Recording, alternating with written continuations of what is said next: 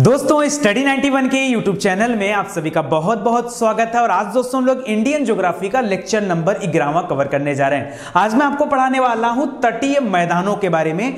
दोस्तों, बहुत डिटेल से मैं आपको इन चीज़ों के बारे में बताऊँगा। हालाँकि बहुत ही छोटी टॉपिक है बट यहाँ से बहुत सारे प्रश्न पूछे जाते हैं। दोस्तों, वैसे तो तटीय मैदान जो है, वो दो हिस्से में बढ़ते हैं। एक पश्चिमी तटीय मैदान और दूसरा है पूर्वी तटीय मैदान। और लगे हाथ में आपको यह भी बताऊँगा कि भारत में कितने बंदरगाह हैं और कहाँ पर किन किन बंदरगाहों की क्या क्या विशेषताएँ हैं? तो भारत के जो तेरह बड़े बंदरगाह हैं ना, उनके बारे में भी हम लोग डिटेल से पढ़ा जाएगा, ठीक है? चलिए स्टार्ट करते हैं दोस्तों। अगर आपको इस तरह के अच्छे वीडियो चाहिए तो जल्दी से चैनल को सब्सक्राइब करें और बेल आइकन को प्रेस करना ना भूलें। एक बात याद रखेगा, स्टडी 91 के यूट्यूब चैनल पर सभी विषय को डिटेल से और चैप्टर वाइज पढ़ाया जाता है तो आपको जो भी विषय पढ़ना है, जो भी तैयारी करनी है, वो आकर आप हमसे जुड़कर कर सकते हैं, ठीक है? चलिए स्टार्ट करते हैं दोस्तों।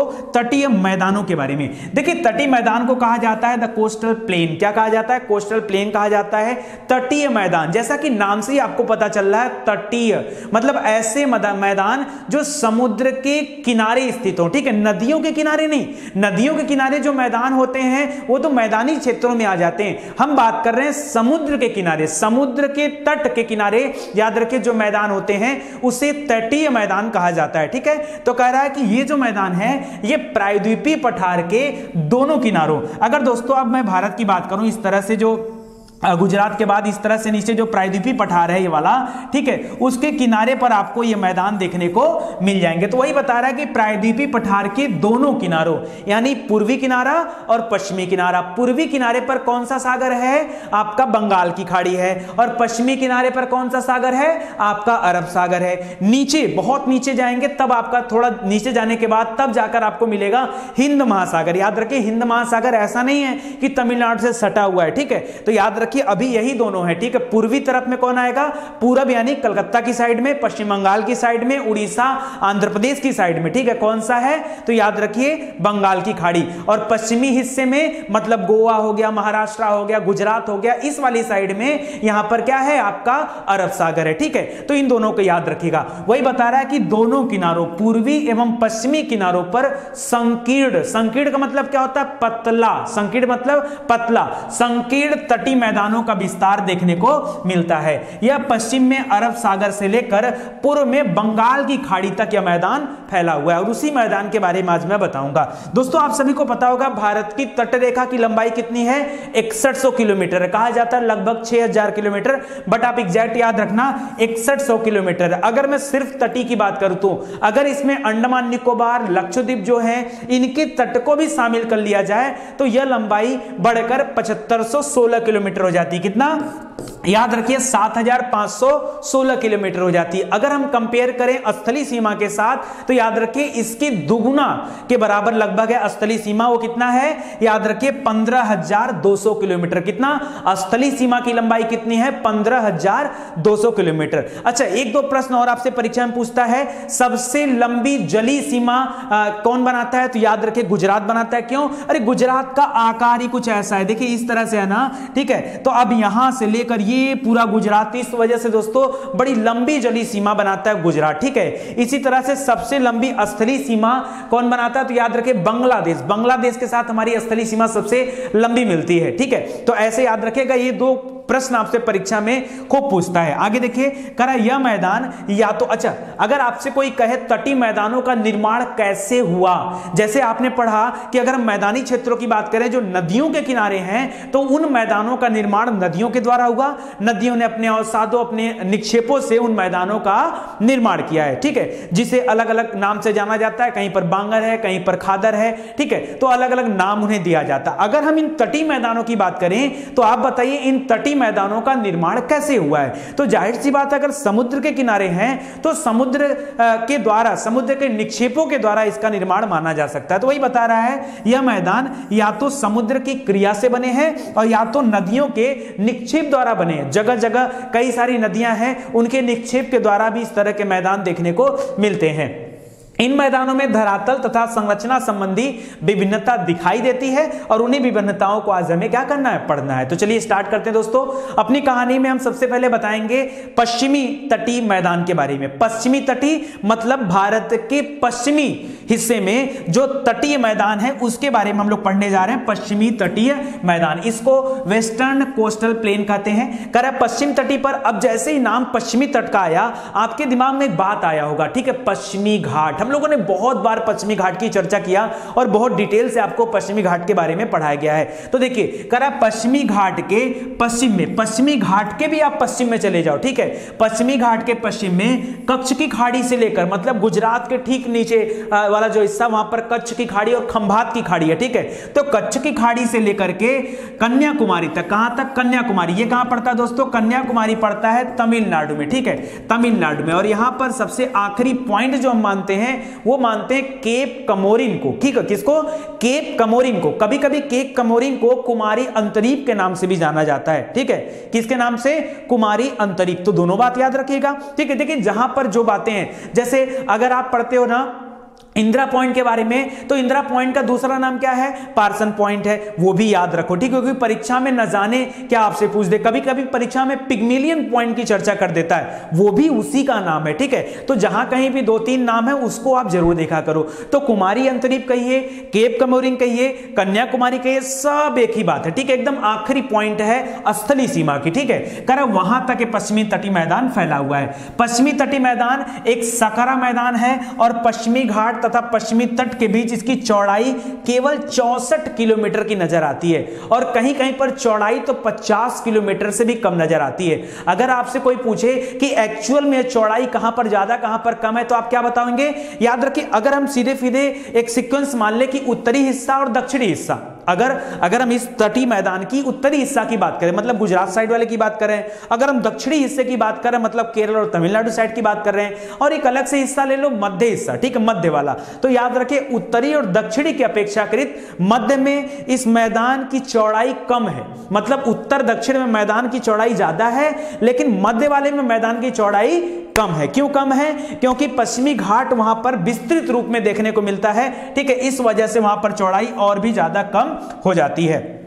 वही बात यहाँ पे लिख रहा है कि उत्तर और दक्षिण भागों में इसकी चौड़ाई अधिक, लेकिन मध्यवर्ती भागों में इसकी चौड़ाई क्या है? अत्यंत कम है। कर कहीं कहीं तो इसकी चौड़ाई कितनी देखने को मिलती? है पचास किलोमीटर से भी कम देखने को मिलती है। इन मैदानों की चौड़ाई पचास किलोमीटर से भी कम देखने को मिलती है। और नॉर्मली औसत अगर लिया जाए तो चौसठ किलोमीटर का औसत है। हाँ जहाँ पर नर्मदा ताप्ती नदियाँ हैं। नर्मदा ताप्ती नदियाँ कहाँ पर है? दोस्तों, आपने अलिया बेट खड़िया बेट का नाम सुना होगा, पढ़ाया हूँ, ठीक है? अगर आपको बिलीव ना हो तो आप हमारे बंदरगाह वाले या द्वीप वाले वीडियो जाकर देख लीजिए लिखिए द्वीप। उस पर लिखिए यूट्यूब पे जाइए और सर्च कीजिए द्वीप स्टडी 91 आपको एक वीडियो मिलेगा इंडियन द्वीप लिखिएगा, भारतीय द्वीपों के बारे में जानकारी वहाँ पर मैंने दिया है और डिटेल से द्वीपों के बारे में बताया है। वहाँ पर मैंने दमन द्वीप के अलावा अड़िया बेट खड़िया बेट का नाम लिया है। वो, वहाँ पर वो वही स्थान है जहाँ पर नर्मदा और ताप्ती नदियाँ क्या करती हैं? अपना एस्चुरी बनाती हैं। क्या बनाती हैं? एस्चुरी ठीक है? तो एस्चुरी क्या होता है? डेल्टा क्या होता है? ये जब मैं आपको नदी वाला चैप्टर पढ़ाऊँगा तो वहाँ डिटेल से मैं चर्चा करूँगा, ठीक है?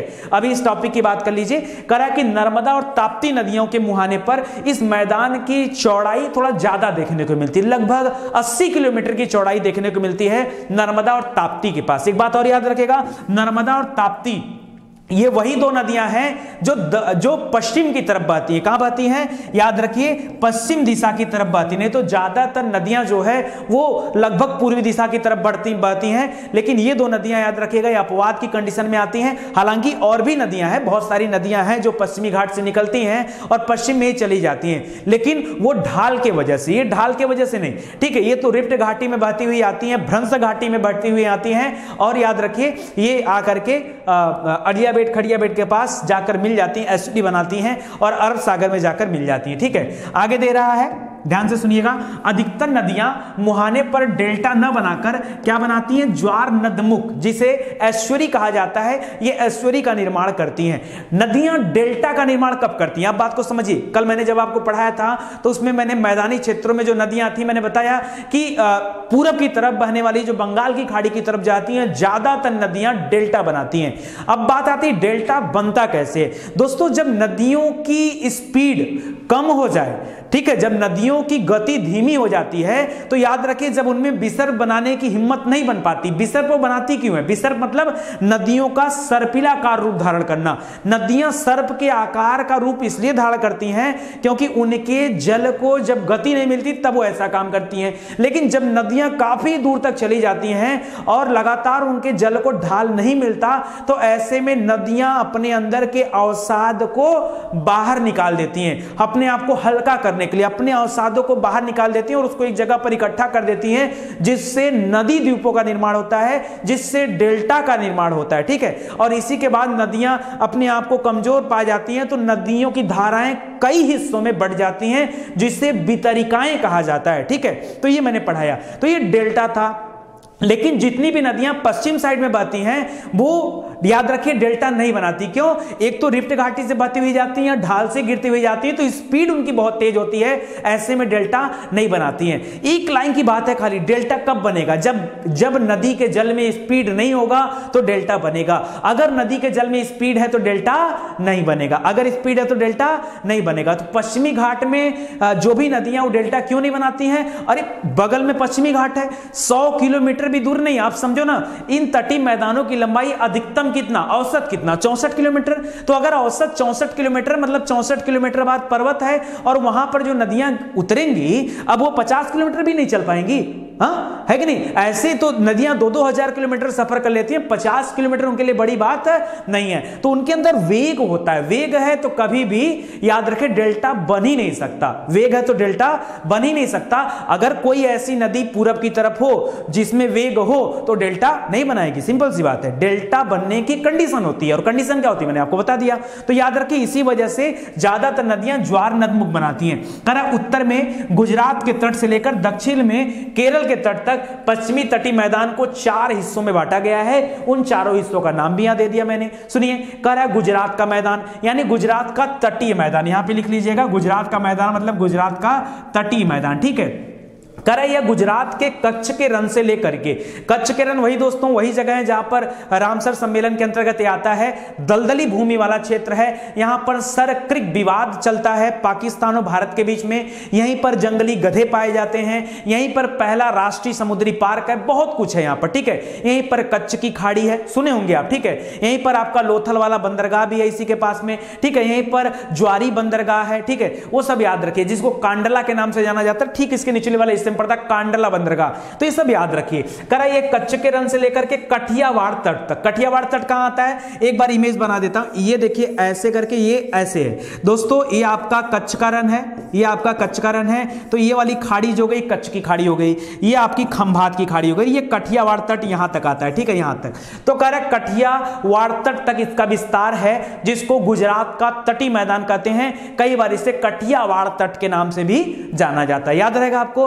दूसरे नंबर पे कोंकण तट। कोंकण तट दोस्तों, ये दमन दीव से स्टार्ट होता है। दमन दीव कहाँ पर है? ये देख रहे हैं पोर्शन यहीं पर दमन दीव है, यहीं पर, ठीक है? ये गुजरात का जो निचला वाला हिस्सा है, बस यहीं पर दमन दीव है। तो याद रखिए, दमन से लेकर के दक्षिण में कहाँ तक जाएगा? गोवा तक। गोवा तक विस्तार है कोंकण का। कोंकण तट कहा जाता है इसे।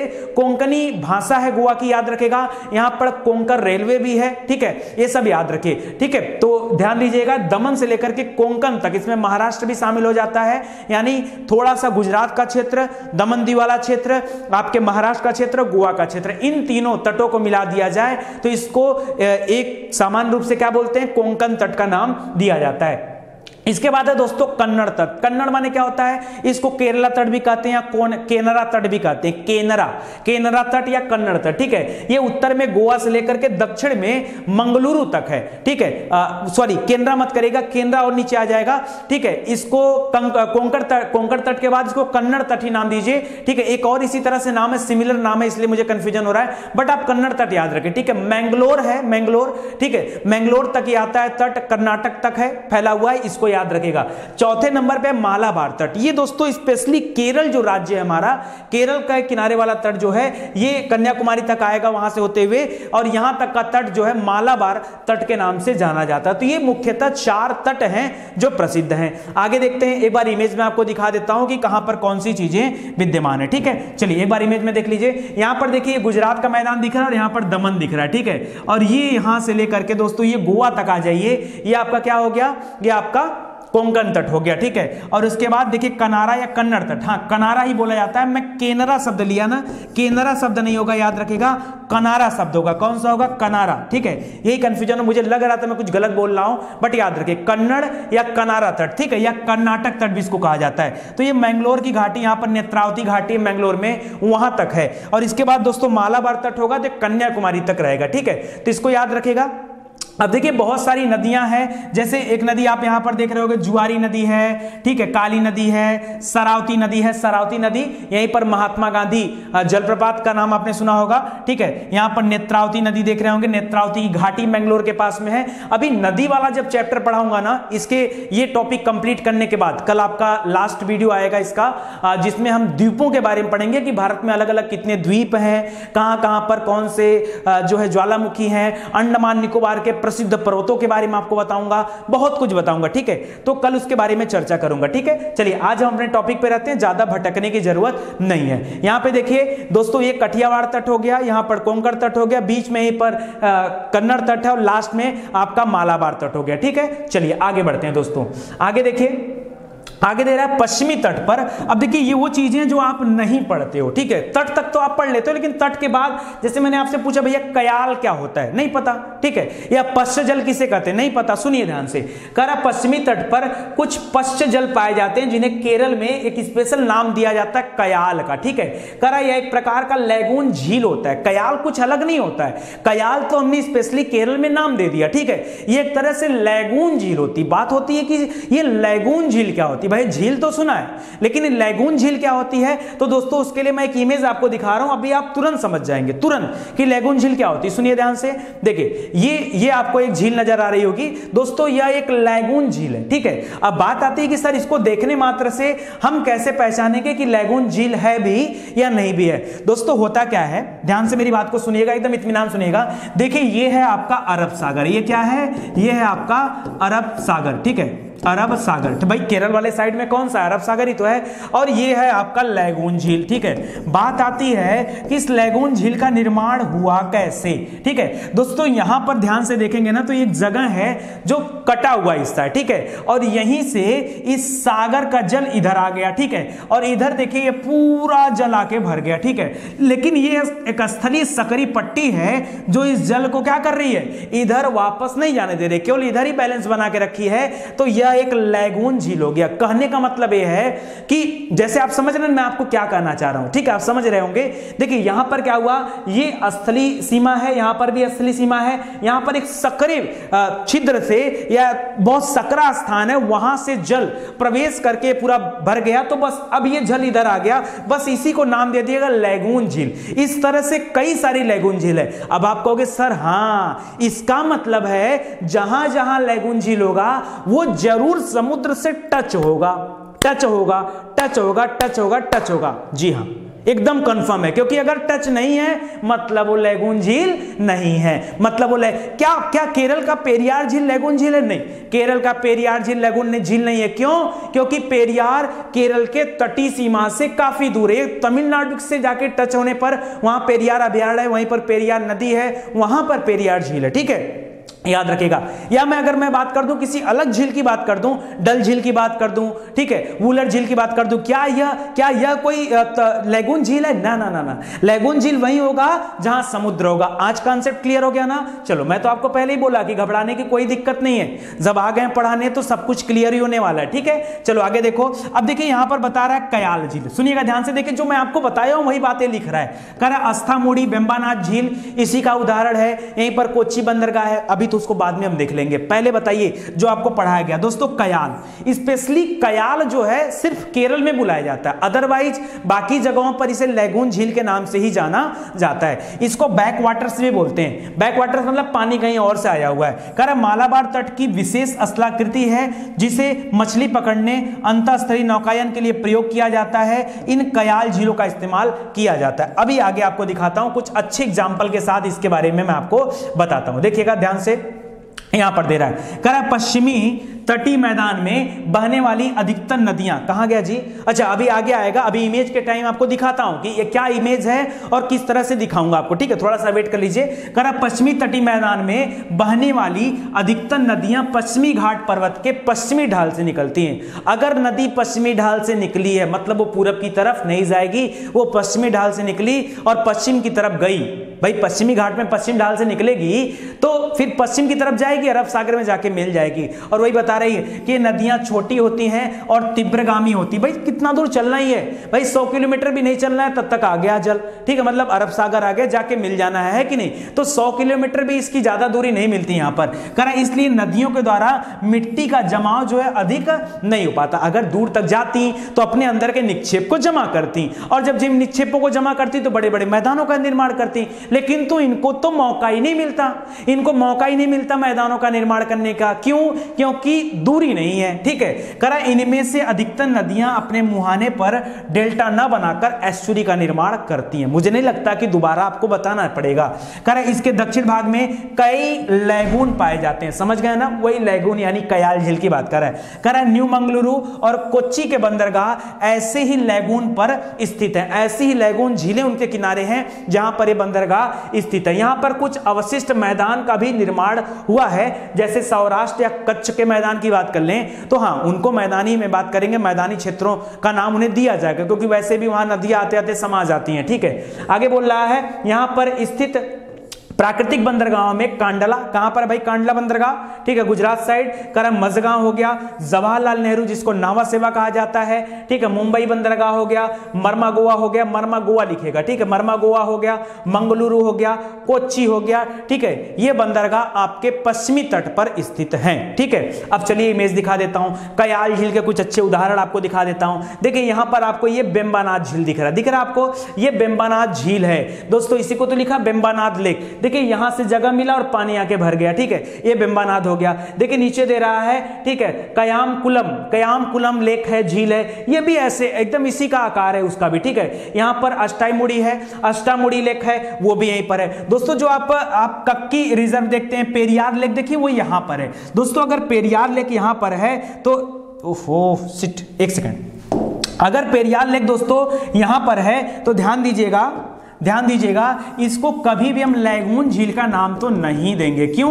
क्योंकि लैगून झील होता तो यहाँ कहीं पे स्थित होता, समुद्री किनारे पर स्थित होता, इसलिए कभी गलती से पेरियार को लैगून झील मत बोलिएगा। मुझे पता है, ज़्यादातर बच्चे करते क्या है ना, कि गलती उनकी गलती नहीं है। एक्चुअली में पढ़ाने वाले ने कभी इस तरीके से उन्हें बताया नहीं कि ये लैगून झील का मतलब क्या होता है, ठीक है? तो इसको याद रखेगा। बस इतनी सी बात थी, इसमें और कुछ ज़्यादा है नहीं। चलिए, अब अपनी चर्चा कर लेते हैं पूर्वी तटी मैदानों पर और उसके बारे में आपको बता देता हूँ, ठीक है? पूर्वी तटी मैदान जिसको ईस्टर्न कोस्टल प्लेन भी कहते हैं। करा यह मैदान बंगाल बंगाल नहीं होता, बंगाल।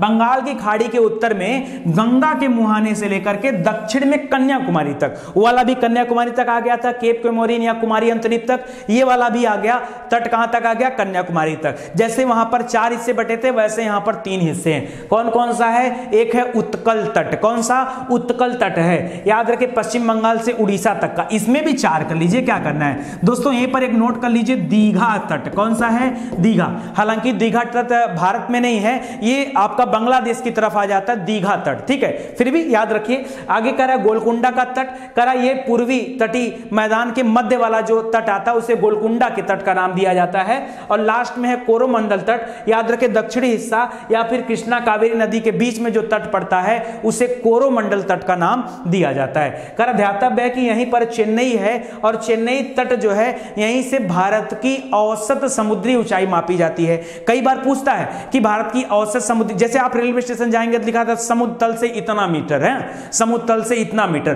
भाई, आधार तो कहीं बनाया गया होगा ना? किसको आधार बनाया गया? यही, इसी चेन्नई को आधार बनाया गया, ठीक है? तो एक नंबर का प्रश्न यहाँ आपसे परीक्षा में पूछता है। करा कि पूर्व पूर्वी नहीं, लिखिए पूर्वी यहाँ पर रहेगा। पूर्वी तट पर कई लैगुन झीलें पाई जाती हैं। अरे तो कौन सा पश्चिमी तट पर नहीं पाई जाती? पश्चिमी तट पर खास करके जो लैगून वाली झीलें हैं, वो केरल वाली साइड में ज़्यादा मिलती। देखिए, जहाँ की सीमा रेखा में, कटान कटान ज़्यादा रहेगा, तटछट ज़्यादा रहेगा, वहाँ पर इस तरह की लैगून झीलें देखने को मिलती हैं। तो याद रखिए, पहले तो उड़ीसा में ही है, ठीक है?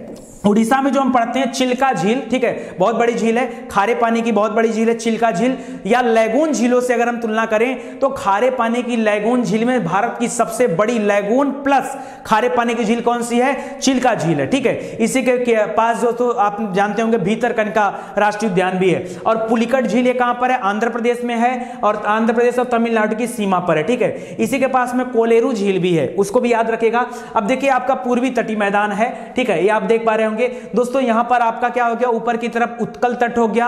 उत्कल माने उड़ीसा वाला तट। यहाँ पर हो गया बीच में कोरोमंडल नीचे बीच में गोलकुंडा तट हो गया और नीचे कोरोमंडल तट हो गया, ठीक है? तो इसको आप जरा ध्यान दीजिएगा, ठीक है? आगे देखिए, दिखा रहा आपको लैगुन झील के बारे में, जो उड़ीसा में है, ठीक है? ये देखिए, उड़ीसा में है, चिल्का झील है और यहाँ पर देखिए, माउथ बता रहा माउथ मतलब ये वही खुला स्थान है, जहाँ से जल आकर के इस पूरे क्षेत्र में भर गया है। इधर पूरी डिस्ट्रिक्ट है, पूरी, जहाँ पर जगन्नाथ जी का मंदिर है और ये आपका खुर्दा डिस्ट्रिक्ट है और नीचे गंजाम डिस्ट्रिक्ट है, ठीक है? तो याद रखेगा, बहुत इंपॉर्टेंट है, यानी चिल्का भी क्या है? एक तरह की लेगून झील का उदाहरण है। आगे देखिए, ये भी देखिए दोस्तों, ये पुलिकट झील है। पुलिकट झील के बारे में अक्सर आपने सुना होगा। देखिए, पुलिकट झील में यहाँ से जल जाने का स्थान है, ये आपका पुलिकट झील है। और ये बड़ा वाला स्थान देख रहे हैं दोस्तों, एक मिनट में दिखा दे रहा हूँ, ये। ये देखिए, ये श्रीहरिकोटा है, जहाँ से खूब परीक्षण किया जाता है ना? तो आप पढ़ते होंगे, ये पुलिकट झील और ये श्रीहरिकोटा समझ में आ रहा है? पुलिकट और श्रीहरिकोटा तो इसको याद रखेगा। परीक्षा में यह भी पूछा जाता है, या कम से कम आपको मैपिंग में तो आपको याद ही होना चाहिए, ठीक है? आगे बढ़ते हैं। थोड़ी सी बातें और है फिर समाप्त हो जाएगा। कह रहा पूर्वी तट कम कटाफटा है इस कारण से पूर्वी तट पर प्राकृतिक बंदरगाहों की संख्या कम है। देखिए प्राकृतिक बंदरगाह का मतलब क्या है? देखिए बंदरगाह बनेगा कैसे? मान लीजिए मान लीजिए ऐसे एकदम प्लेन तट है ठीक है एकदम प्लेन तट है। जैसा आप कभी आ, किसी बीच पर जाते हैं तो आपको मिल जाता है। एक बात बताइए अगर एकदम प्लेन तट होगा तो कैसे कोई पानी वाली शिप जो है आके तट पर रुकेगी? तो दोस्तों ज़रूरी होता है कि तट कुछ इस तरीके से हो कुछ ऐसे ऐसे ऐसे अगर तट होते हैं सिप आती यहाँ खड़ी हो जाती है, यहाँ पे सामान उतार देती है। सिप आती यहाँ खड़ी होती है, यहाँ सामान निकाल देती है। सिप आती यहाँ खड़ी होती है, इधर सामान उतार देती है। तो जहाँ पर कटछट ज़्यादा होते हैं, ठीक है, कटाफटा ज़्यादा रहता है, वो और कटाफटा होगा कैसे? अरे भाई, प्रकृति ने अगर खुद से काट पीट दिया होगा, तब तो हमारे लिए बड़ा अच्छा है। नहीं तो कृत्रिम तरीके से हमें बनाना पड़ेगा। तो याद रखिए, पूर्वी तट जो है, वो कम कटाफटा है। इस कारण से पूर्वी तट पर प्राकृतिक बंदरगाहों की संख्या कम है कम है ऐसा नहीं कि नहीं है। जैसे विशाखापट्टनम ले लो, वही प्राकृतिक बंदरगाह है। लेकिन हाँ इनकी संख्या पश्चिम की अपेक्षा कम है, ठीक है? इसको याद रखेगा करा यहाँ पर पोताश्रय भी कम है। पोताश्रय मतलब पोत धन आश्रय। पोत माने जहाज़, आश्रय माने रुकना। जहाँ पर जहाज़ यहाँ कर रुकती उन्हें पोताश्रय कहते हैं। जैसे हवाई जहाज़ जहाँ रुकता उसे हवाई अड्डा कहते हैं। जहाँ पे बस रुकती उसे बस अड्डा कहते हैं। बस वैसे ही है। करा चिल्का हो गया, चिल्का झील हो गया। महानदी डेल्टा के दक्षिण में स्थित है। कहाँ पर है? महानदी, ये उड़ीसा की सबसे बड़ी नदी है, याद रखेगा इसी के किनारे कटक है, जहाँ पर चावल अनुसंधान केंद्र है, याद रखेगा ठीक है। महानदी के डेल्टा के ठीक दक्षिण में चिल्का झील स्थित है। पचहत्तर किलोमीटर लंबी है। कह रहे जबकि पुलिकट जो है, वो चेन्नई नगर के उत्तर में स्थित है और पुलिकट झील के जस्ट बगल में आपका श्रीहरिकोटा वाला द्वीप भी था। उसको भी याद रखेगा। कह रहे गोदावरी और कृष्णा नदियों के डेल्टाओं के मध्य में क्या है? कोलेरू झील भी है, ये भी आंध्र प्रदेश में। पुलिकट और कोलेरू दोनों आंध्र प्रदेश में है, जबकि पुलिकट ये आंध्र प्रदेश और तमिलनाडु की सीमा पे बढ़ता है। कह रहा इस प्रकार कोलेरू झील एक डेल्टाई झील बनती है, ठीक है, जिसका भारत की सबसे बड़ी लैगून एवं खारे पानी की झील कहा जाता है। तो पहले ही बता चुका हूँ, ठीक है? आगे देखते हैं कह रहा कोरोमंडल तट का विस्तार, भारत के दक्षिणी प्रायद्वीप के दक्षिण पूर्व में आंध्र प्रदेश के फाल्सडीवी बिंदु से लेकर के, ठीक है, ये तमिलनाडु के कन्याकुमारी तक फैला हुआ है, ठीक है। तो एक पॉइंट है दोस्तों, फाल्स बिंदु कहा जाता है। वो आंध्र प्रदेश में वहाँ से लेकर तमिलनाडु तक जो तट है, इसको कोरोमंडल तट कहा जाता है, ठीक है। तो तमिलनाडु में देखिए दो दो तट आके मिल रहे हैं, एक मालाबार तट, एक कोरोमंडल तट। मालाबार और कोरोमंडल तट। तो दोनों आप इसको याद रखेगा। अब दोस्तों, लगे हाथ हम लोग अगर ये पढ़ रहे हैं तो क्यों ना बंदरगाहों पर भी एक छोटी सी बात कर ही लें। ज़्यादा बंदरगाह नहीं, सिर्फ़ तेरह बंदरगाहों के बारे में आपको बताऊँगा। करा सामुद्रिक जलमार्ग की दृष्टि से भारत का संपूर्ण प्रायद्वीप तटी भाग जिसकी लंबाई कितनी है? इकसठ किलोमीटर है। इस पर तेरह बड़े बंदरगाह हैं और 140 से ज़्यादा छोटे छोटे बंदरगाह हैं। तो छोटे बंदरगाहों की बात नहीं करेंगे, सीधे बड़े बंदरगाहों की बात करते हैं। याद रखेगा, बड़े बंदरगाहों पर नियंत्रण करने का काम या उसका मैनेजमेंट प्रशासन का काम यह केंद्र सरकार का होता है। हाँ लेकिन छोटे बंदरगाहों की बात कर देंगे तो राज्य सरकार अपने तरीके से उसका जो है मेंटेनेंस करती है, वो समवर्ती सूची के विषय में शामिल किए जाते हैं, ठीक है? अब पहला सबसे इंपॉर्टेंट है कांडला बंदरगाह। कांडला आपकी परीक्षा में पूछा जाता है, एक दो नंबर का क्वेश्चन भी यहाँ से बनता है। कांडला बंदरगाह कहाँ पर है? तो याद रखिए, गुजरात में है। और गुजरात में कहाँ पर? तो कच्छ की खाड़ी के तट पर है। यह एक ज्वारीय बंदरगाह है। क्या है ज्वारी?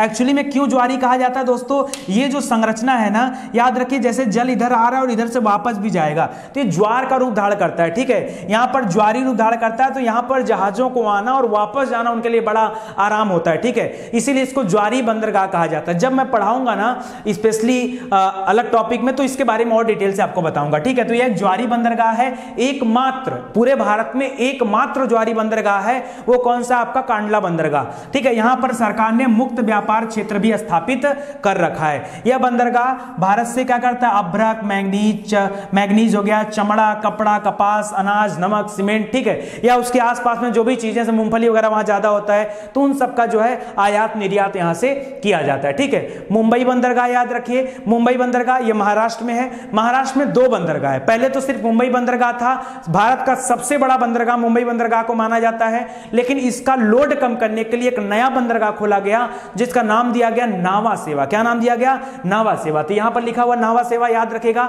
ये इसके लोड को कम करने के लिए खोला गया। इसका एक नया नाम भी दिया गया, जवाहरलाल नेहरू बंदरगाह। ठीक है? तो दोनों बातें भी आप याद रखेगा सुन लीजिए एक बार। कह रहा मुंबई बंदरगाह या देश का सबसे बड़ा बंदरगाह है, जो सालसेट द्वीप पर स्थित है। पूरी की पूरी मुंबई ही सालसेट द्वीप पर स्थित है। ठीक है?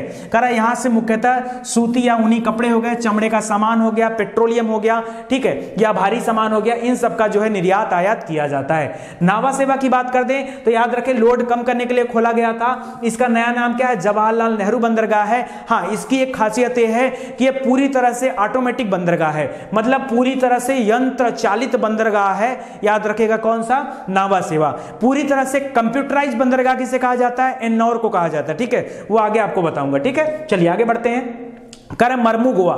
मरमू गोवा नाम से ही लग रहा होगा, ये गोवा में है, ये बंदर कहाँ कहाँ पर है? ये गोवा में स्थित है। गोवा में जुआरी नदी है। वो ऐश्वरी बनाती है उसके तट पर, दोस्तों। ये मरमू गोवा बंदरगाह है। इसी तरह से न्यू मंगलोर बंदरगाह, ये कर्नाटक के तट पर है। याद रखेगा मरमू गोवा और कोचिन, सबसे फ़ेमस बंदरगाह जो है, पश्चिमी तट पर, वो कोचिन और मुंबई था। तो याद रखिए, इन दोनों के मध्य में क्या है? न्यू मंगलोर है, ठीक है? यहाँ से लव अयस का ग्रेनाइट, काजू, कावा और मछली इत्यादि का जो है एक्सपोर्ट इंपोर्ट किया जाता है। यहीं पर कुद्रे मुखी खान है तो वहाँ से लोएस्ट निकल जाता है तो फिर यहाँ से आराम से उसको भेज दिया जाता है। कोचिन याद रखेगा, यहाँ पर बेम्बानाथ कयाल है। कयाल मतलब वही लेगुन झील, ठीक है? तो बेम्बानाथ वाली जो लेगुन झील है, जिसे अरब सागर की रानी कहा जाता है, या ठीक है इसको याद रखेगा, इसके मुहाने पर कोचिन एक प्राकृतिक बंदरगाह है, ठीक है?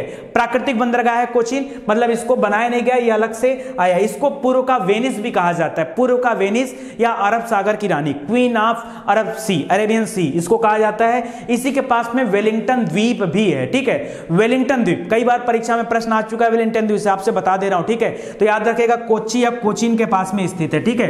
तूती कोरिन याद रखिए दोस्तों कर यह भारत के दक्षिणी पूर्वी तट पर एकदम नीचे वाली साइड में तमिलनाडु में स्थित है। इसका नाम बदलकर क्या रख दिया गया है? चिंबनार पोर्ट ट्रस्ट ऑफ़ इंडिया। क्यों रखा गया है? दोस्तों, चिंबनार बहुत फ़ेमस व्यक्ति थे। उन्होंने सबसे पहला जो शिप चलाया था, वो यहीं से चलाया था, कहाँ के लिए? श्रीलंका भेजा था। उन्हीं के नाम पर इसको नाम चेंज किया गया है, ठीक है? चेन्नई याद रखिए यह भारत के सर्वाधिक पुराने बंदरगाहों में से एक माना जाता है। यह एक कृत्रिम पत्तन है, यानी कृत्रिम बंदरगाह है, जिसे 1859 में बनाया गया। तट पर पानी की कमी रहने के कारण बड़े जलयान जो है, वो इस तट तक नहीं आ पाते इसीलिए दोस्तों, इसको कृत्रिम रूप से और भी गहरा किया गया है कि कैसे इसका यूटिलाइजेशन ज़्यादा किया जा सके, ठीक है? इन्नौर याद रखिए, तमिलनाडु के तट पर चेन्नई के ठीक उत्तर में यह स्थित है और कंप्यूटराइज बंदरगाह है। शुरुआत में ही आपको बता दिया, और यह देश का प्रथम पब्लिक कंपनी बंदरगाह है, इसको भी याद रखेगा। इसका भी नया नाम रख दिया गया दोस्तों, कामराज पोर्ट लिमिटेड किया गया है, नाम बदल करके, ये भी याद रखेगा। और के कामराज कौन थे? तो ये एक स्वतंत्रता सेनानी थे, जो कि तमिलनाडु की धरती से बिलोंग करते थे। इसीलिए इसका नाम बदलकर क्या कर दिया गया? के कामराज के नाम पर कर दिया गया, ठीक है? अगला विशाखापत्तनम। विशाखापत्तनम भारत के सबसे गहरे बंदरगाह के रूप में जाना जाता है। सबसे गहरा और प्राकृतिक बंदरगाह कौन सा है? विशाखापत्तनम है। याद रखेगा, इसके पास में पोत निर्माण और मरम्मत उद्योग भी स्थापित किया गया। याद रखेगा, यहाँ से लव अयस्क, पेट्रोलियम उत्पाद, उर्वरक, कामा, लकड़ी, कोयला, चमड़ा, इन सब का आयात निर्यात किया जाता है। पाराद्वीप करिएगा यहाँ पर। पाराद्वीप पाराद्वीप कहाँ पर है? उड़ीसा में है। यह कटक। कटक जानते हैं ना, जहाँ पर चावल अनुसंधान केंद्र था? कटक से सौ किलोमीटर की दूरी पर पर महानदी के डेल्टा में उड़ीसा के पास में स्थित है। यहाँ से मुख्यतः जापान को कच्चा लोहा, यानी जो लौ एस्क है उसका निर्यात किया जाता है। ठीक है तो इसको आप ध्यान रखिएगा, काफ़ी इंपॉर्टेंट है। अगला है कोलकाता। कोलकाता में दोस्तों हल्दिया में है, ठीक है? हल्दिया में है, याद रखिएगा, एक बंदरगाह, और कलकत्ता पुराने समय में सबसे चर्चित बंदरगाह था, क्योंकि अंग्रेज़ों ने क्या किया था, इसको अपना अड्डा बनाया था। और लास्ट में पोर्ट ब्लेयर जो कि अंडमान निकोबार में है तो उसको भी आप ध्यान दीजिएगा, ठीक है? तो आज के लिए दोस्तों, बस इतना ही उम्मीद करता हूँ आपको समझ में आया होगा।